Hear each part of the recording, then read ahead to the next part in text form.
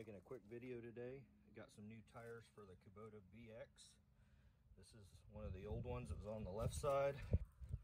One of the old ones on the right side. And actually, you can see they've still got a fair bit of tread, but the problem is the sidewalls. You can see this one, I'll flex it. That's actually a hole right here the air was coming out of.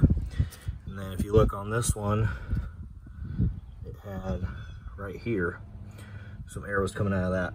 The one on the left side was, turn it around there, there we go. One on the left side was not leaking nearly as bad. It would stay usable for a few days.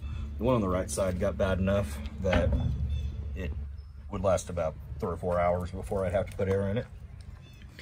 What I've replaced it with, uh, these old ones had 370.3 hours on them and I bought the tractor December 31st, 2015. So it's been pushing five and a half years and 370 hours. I do some commercial with it and um, just a lot of stuff I've had around the house. Probably 200 to 250 of those hours have been commercial. The rest on my property. So what I replaced it with is the BKT 18 by 8 and a half to 10 made in India. And it's uh see if I can turn this here. 8 ply skid power HD so you can see that one's gonna go on the right side this direction. And it's got kind of a tiered system sitting beside the old one. And remember, one's got air in it, one doesn't. But you can see, other than the dirt, which oh, I was too lazy to clean off, this far side, that outside edge takes a big, big rub, doing a lot of loader work and everything. Whereas this was the inside and it's pretty much new. But like I said, I wouldn't have replaced these. If the sidewalls would have been good, what I would have done instead, you can see the side's not quite as bad, almost as bad though inside versus the outside. And here's the the other, same thing. Like I said, these are actually skid steer tires. Um, the old ones have a four ply rating. Let's see if I can find that real quick. Just to show you. There it is. Four ply rating up to 22 psi.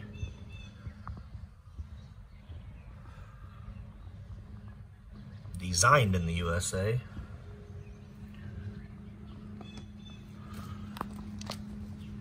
And then these new ones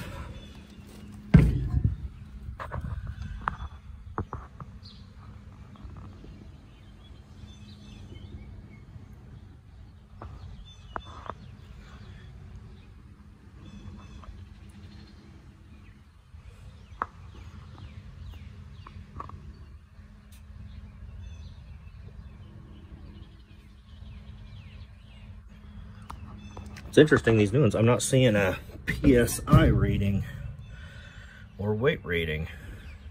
Oh, here we go. Two and a half bar max. I have no idea how much that is. Made the seventh week of 2021, so these are brand new. But the old one's four ply, so these are literally twice as heavy on the rating.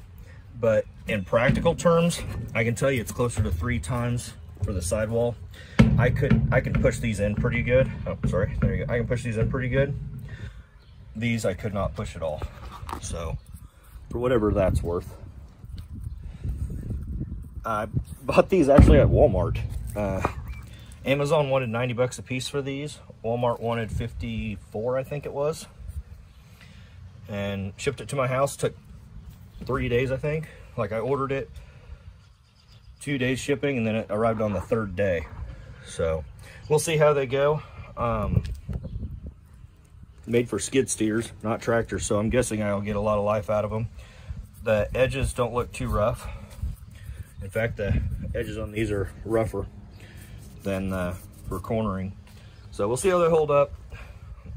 got five and a half years out of the crappy four plies. I would expect to get significantly longer out of these new ones. So, like I said, I wouldn't have got rid of these if the sidewalls would hold air, but I would have probably just switched them, moved the insides to the outsides, moved side to side. But instead they'll sit in my shed in case I put a angle iron through one of these. Any questions ask, I'll try to monitor this and answer them. Quick update on this. I told you wrong, and you can see it in the other video, I just said it wrong. Right here in this writing, it says don't go over 100 PSI, but does not give a weight rating anywhere. So the old ones, Kubota calls for 22 PSI in these fronts for the BX25D1, which is what I have. And the old ones were max 22 psi so you're literally running at max. These are max 100 so i've got them set at 29 psi each. I'll try that and see how it goes. And then i'll see i can show you this. You can kind of see from there that they're both I, I was what, toed in is that what we'd call that where the top is outside where the bottom is um, down here faces in like this. So we'll see. That's part of the reason that outside rubs lower. This outer edge on the old ones is significantly shorter than the inside. And you see I need to get some new boots. That's on the to-do list. But this outside edge, and I think that's because when you have a lot of load in the loader, these do sit flat. But if I'm mowing or tilling, it's not flat. It doesn't spread the weight out across the whole thing because there isn't enough weight in the front. I'll probably leave it as it is because I do do a lot of loader work. Um, like I said, five and a half years out of the old ones. I expect to get 10 years out of these, barring any incident.